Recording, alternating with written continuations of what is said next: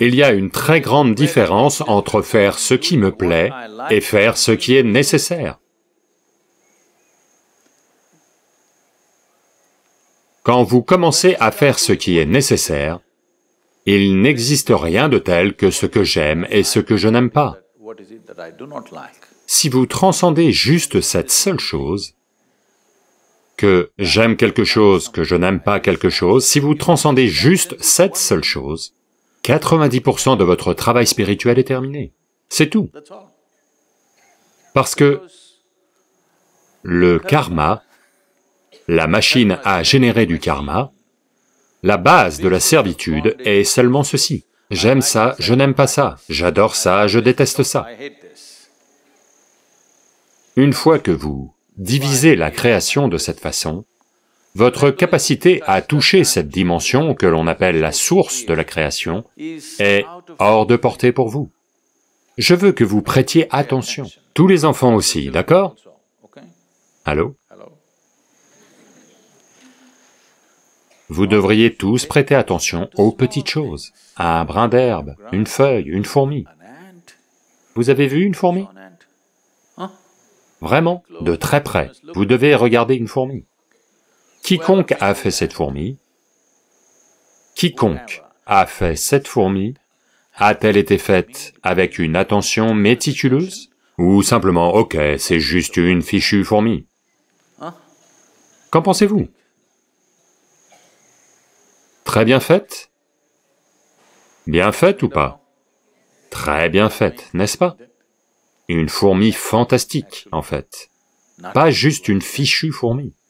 Donc, si le Créateur, si la source de la création est prête à accorder autant d'attention à une toute petite fourmi, qui êtes-vous pour décider de ce que vous aimez et de ce que vous n'aimez pas?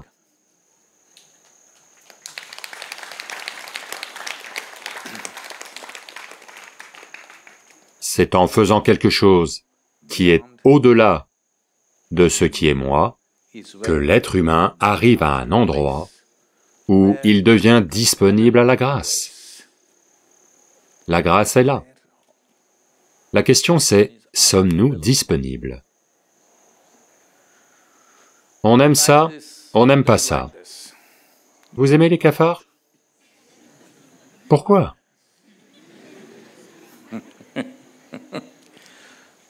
Imaginons, imaginons, imaginons que Shiva arrive déguisé en cafard. Qu'allez-vous faire?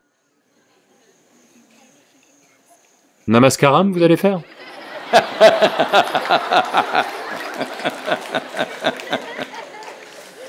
Mais comment allez-vous savoir si c'est Shiva ou juste un autre cafard?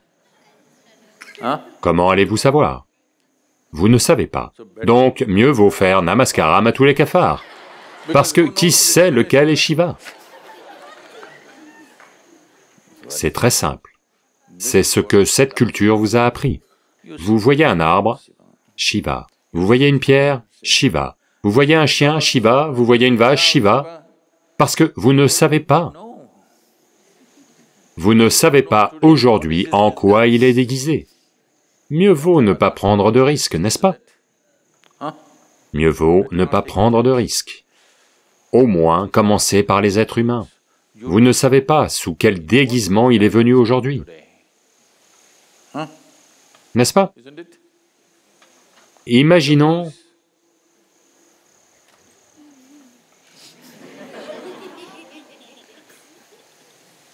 Qui sait? C'est pour ça que, qui que vous voyez, parce que qui sait aujourd'hui en quoi il est déguisé? Si vous êtes comme ça, la grâce sera sur vous, il n'y a aucun doute. Vous n'avez pas besoin de partir en recherche, vous n'avez pas besoin d'aller à la recherche de Dieu ou de la vérité, elle va se déverser sur vous. Ça va arriver.